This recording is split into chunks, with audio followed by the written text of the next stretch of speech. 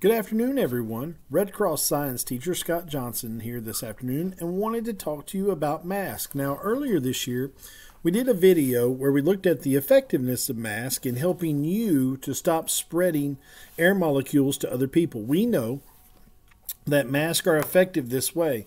We took masks that were both cloth and masks that were uh, the medical grade quality and we put them through a variety of tests. We couldn't blow out a candle. We couldn't blow bubbles. We couldn't even blow up a balloon. We couldn't blow out a birthday candle. Okay? Today I wanted to show you something else. A common misconception sometimes is that masks sometimes affect the breathing of people or that it causes someone to have a reduced amount of oxygen and they could be in danger of passing out. But today I want to show you a small demonstration to show you exactly how that really isn't true. This is a fingertip uh, pulse uh, oximeter, and what it does is you can place it on your fingertip, and it gives you a readout of the percentage of oxygen in your blood.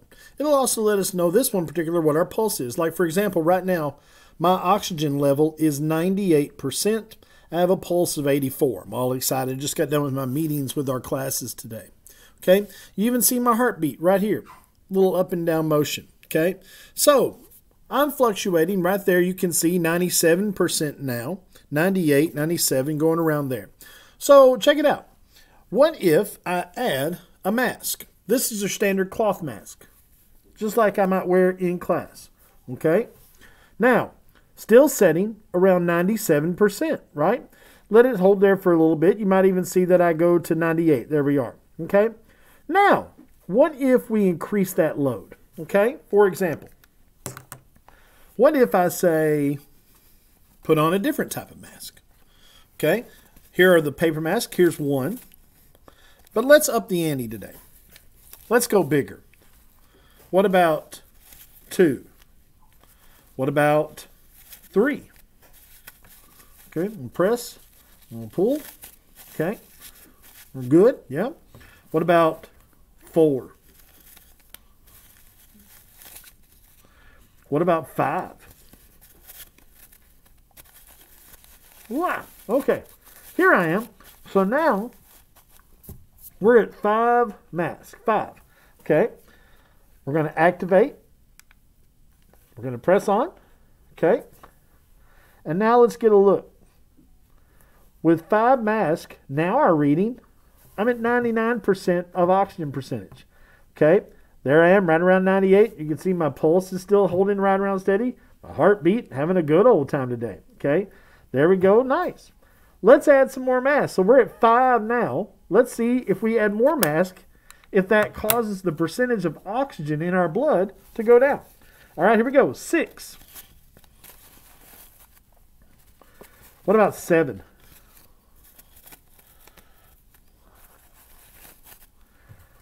Eight. What about nine?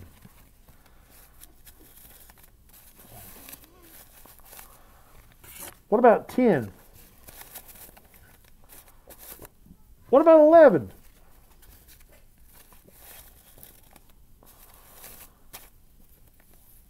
Oh.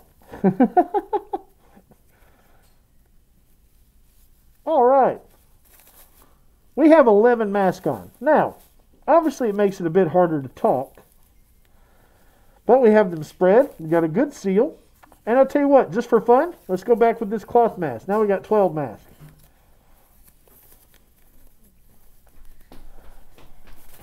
All right. There we go. Presley, would you come around behind me? This is my daughter, Presley. Presley, if you'll hold the, the straps right there behind my ear and hold the straps behind this one. Yep. There you go. If you'll hold those. Perfect. All right. So now we have 12 masks on, or yeah, 12, 12 masks on. Okay. So now, once again, we're going to activate. Okay. I'll place it on my finger, and let's see how we do. Getting our reading at this time. 98% oxygen level, 86 on the pulse, and there's my heartbeat, all steady strong. Okay, so as we can see, the masks themselves, and you would never be in a situation where you had to wear this many, but the masks themselves are not causing any type of breakdown in my percentage of oxygen. Okay? We could go even farther. If I were to take all of these masks, okay, Presley, I'm just going to pop here, okay, hold them back there. There we go.